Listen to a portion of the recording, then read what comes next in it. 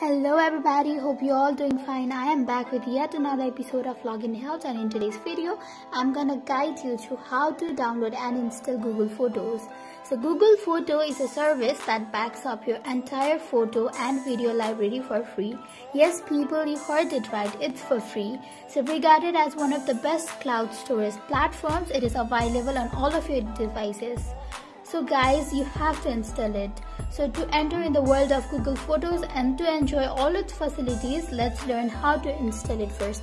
To learn how, keep watching the video till the end and do not forget to subscribe to our channel by hitting the subscribe button. Also press the notification bell icon so that you'll never miss another update from us. Now, to install Google Photos, first of all tap on Play Store. After tapping on Play Store, go to the search box and search for Google Photos. After searching for Google Photos, tap on the green button of install on the top right corner. So you are almost done here. Now you just have to wait for it to get installed.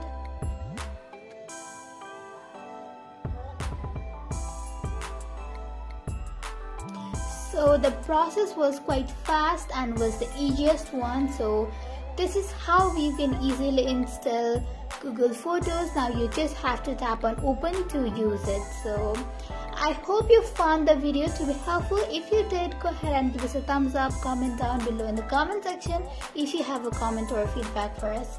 I'll be soon be back with more tutorial like this. Goodbye till then.